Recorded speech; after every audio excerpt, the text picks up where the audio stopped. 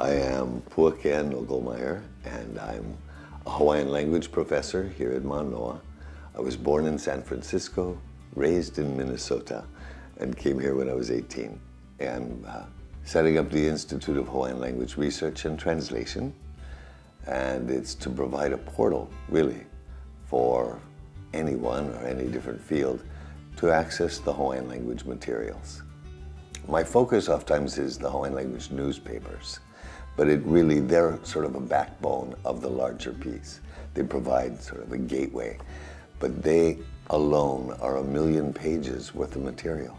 That leads into another perhaps million pages of manuscript and government doc and that kind of thing that the newspapers help sort of give a, a framework to, make them understandable.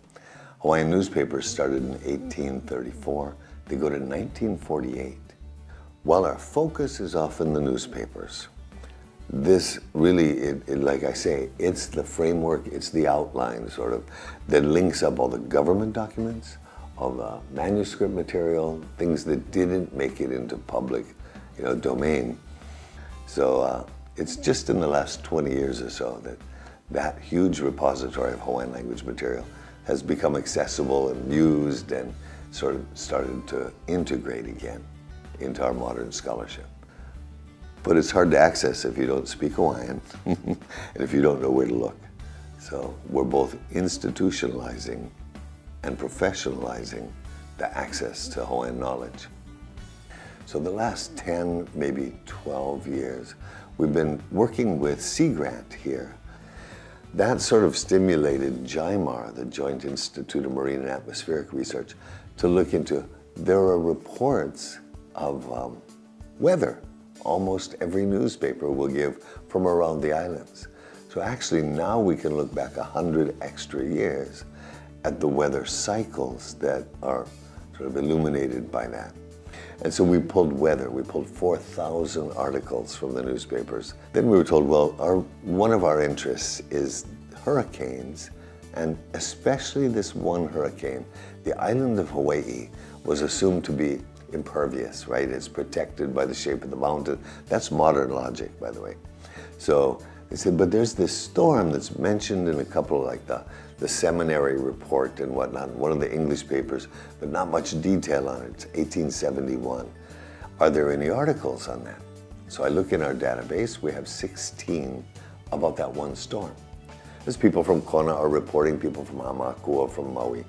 Well, we translated them out, and the scientists are able to extrapolate from our descriptions that you know we find in the newspaper and they were able to not only say it's a level three hurricane that hit Hawaii Island, they can map the whole trajectory of it.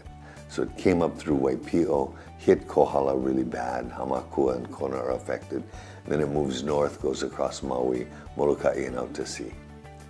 So to be able to document that process, actually at the time we were doing that, legislation was proposed for Hawaii Island to drop hurricane insurance and to lower the hurricane building standards because, you know, modern logic said they're immune. They have to pay volcano insurance. Nobody else does. So it seemed like an unnecessary imposition. Well, anyway, this information helped sunder that legislation so that when Iselle slapped, all the uh, insurance and the building codes were still in place. Probably saved a few million dollars off the backs of the taxpayers. So it's not like it's irrelevant today. It's, it's really, you know, we need the data. We're able to extend some of what we know because this extends our historical window. So I was actually going to retire, but we saw the hope of doing something similar to that, this capacity building at the university. And President Lassner saw the value of it immediately and he said, I'll give you an incubation year. So immediately, this got support from most of the departments on campus that we worked with already, and it initiated new support. You know, that's part of the reason to institutionalize this. I mean, we could just entertain ourselves for a few generations, pulling these pearls out. But there's actually a lot of information that's really usable in all different fields of study today. Um, we have really been adamant in all of our efforts that everything that we generate is public is widespread, easy access.